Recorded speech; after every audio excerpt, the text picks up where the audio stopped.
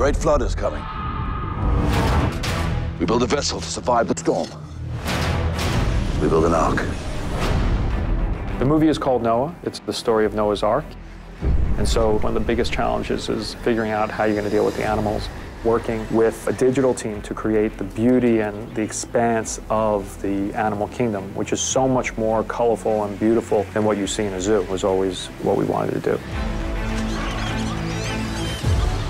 We're really good at building creatures, but to build massive animal crowds, and everyone is different, it was a huge challenge. Snakes are coming too? All the creeps, all the crawls, all the slithers.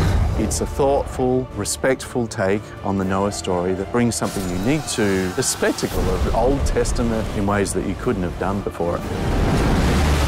I can't wait for people to see it.